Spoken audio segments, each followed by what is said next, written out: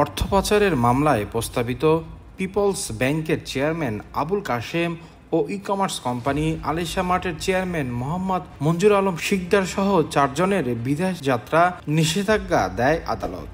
এই নিষেধাজ্ঞা কয়েক ঘণ্টা পর মধ্যরাতে হজরত শাহজালাল আন্তর্জাতিক বিমানবন্দরে গ্রেপ্তার হয়েছেন আবুল কাশেম। পুলিশের অপরাধ তদন্ত বিভাগ সিআইডি ফাইন্যান্সিয়াল ক্রাইম ইউনিটের পরিদর্শক মোহাম্মদ মনিরুজ্জামান এ তথ্য জানান।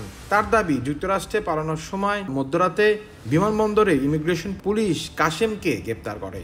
মোহাম্মদ মনিরুজ্জামান বলেন, গ্রেপ্তারের পর বৃহস্পতিবার সকালে সিআইডির কাছে আবুল কাশেমকে বুঝিয়ে দিয়েছে ইমিগ্রেশন পুলিশ।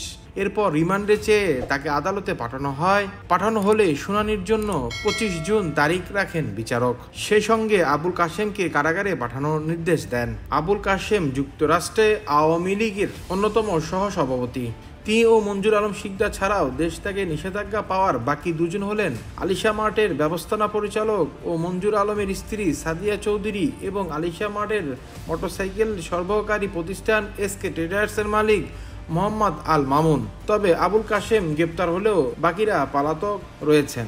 অভিযোগ রয়েছে, প্রস্তাবিত পিপলস ব্যাংক লিমিটেড পরিচালকের পদ পাওয়ার জন্য এবং শেয়ার বাজারের বিনিয়োগের উদ্দেশ্যে হাজারো গ্রাহকদের কাছ থেকে নেওয়া একশো কোটি টাকা মঞ্জুর আলম ওই ব্যাংকের চেয়ারম্যান আবুল কাশেমকে দিয়েছিলেন। জানা যায়, প্রতারণায় শিকদার প্রায় তিন হাজার গ্রাহকের আবেদন ভিত্তিতে তদন্তে প্রমাণ মেলে, গত একত্রিশে মে চারজন সহ অজ্ঞাত পনেরো থেকে বিশ জনের বিরুদ্ধে বনানী থানায় মামলা করেন সিআইডির সহকারী পুলিশ সুপার আল মামুন। তিনি গণমাধ্যমকে বলেন, এই চারজন ছাড়াও প্রতিষ্ঠান হিসেবে Alisha mart limited, Alisha holding limited, Alisha cart limited, Alisha engineering and service limited, Alisha tech limited, Alisha food and beverages limited, Alisha right limited, Alisha export import limited, Alisha pharmacy limited, Alisha agro limited বিরুদ্ধেও মামলা হয়েছে।